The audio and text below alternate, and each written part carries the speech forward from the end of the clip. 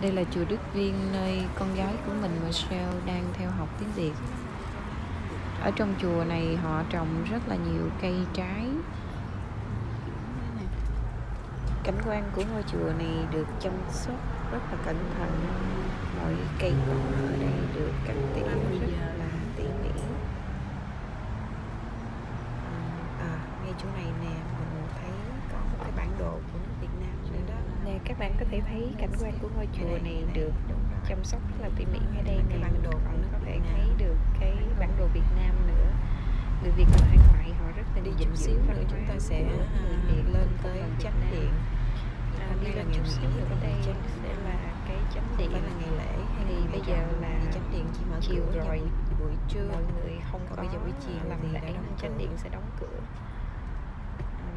mà chúng ta có thể lên đây để tham quan và lạy Phật. Bây giờ mình đi dạo một vòng rồi chờ đón Marcel ha. Chùa Việt Nam thì người ta có tổ chức những cái khóa học tiếng Việt. cái điện và ở đây có hát thủy trúc những cái à, trẻ em Việt Nam. Ô cây này không phải nên thủy trúc. cây này là học. gì ta? Còn quên Alisa tên thì rồi. còn quá nhỏ cây thủy trúc là cái cây mà ở trên nó có cái lá giống như lá cọ ha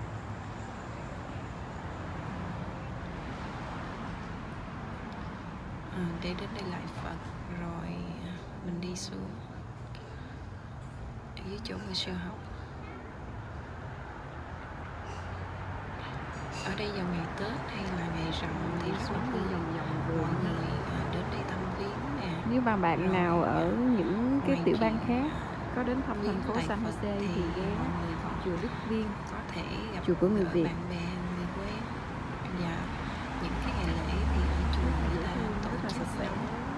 à, rất là nhiều món ăn chay và người ta cũng có à, bán những cái thức ăn chay để gây quỹ cho chùa.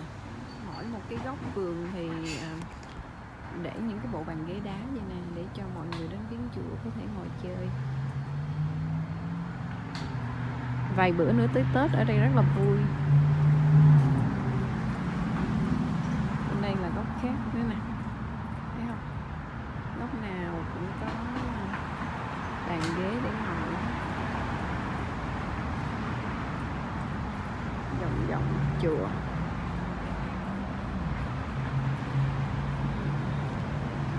Cái hoa 10 giờ mà trồng ở dưới cái cây kiển rất là dễ thương ha.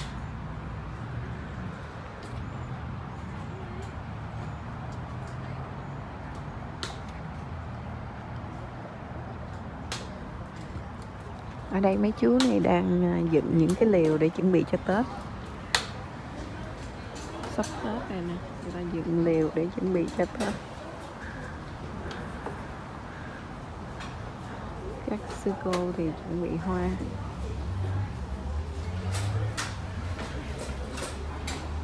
Những cái liều này được dựng lên để bán đồ ăn á, cho người ta đến viếng chùa trong dịp Tết Đây là bàn thờ của Phật Phật quán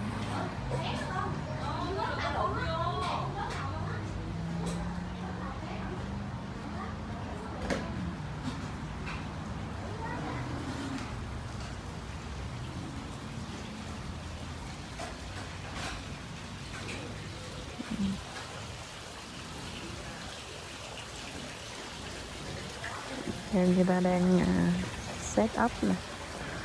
Đủ mọi thứ. Để chuẩn bị cho à, còn hai tuần nữa là Tết rồi đó mọi người ơi. Nhanh quá.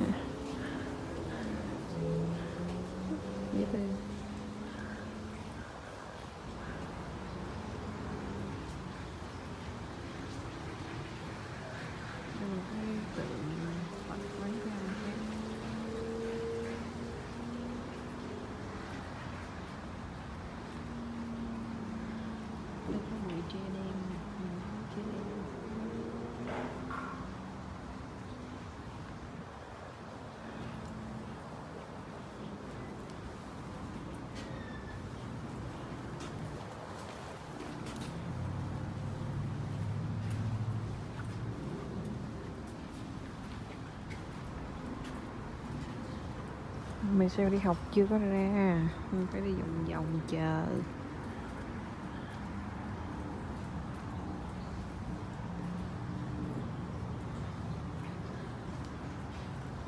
Vòng vòng cho mọi người coi.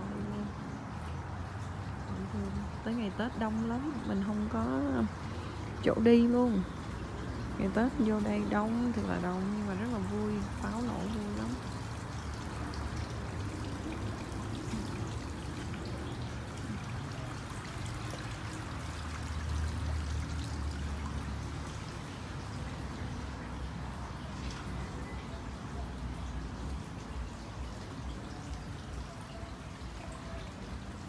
Đi được một vòng rồi đó. Đây là những cái bản thông báo có những cái chương trình gì mới hay không?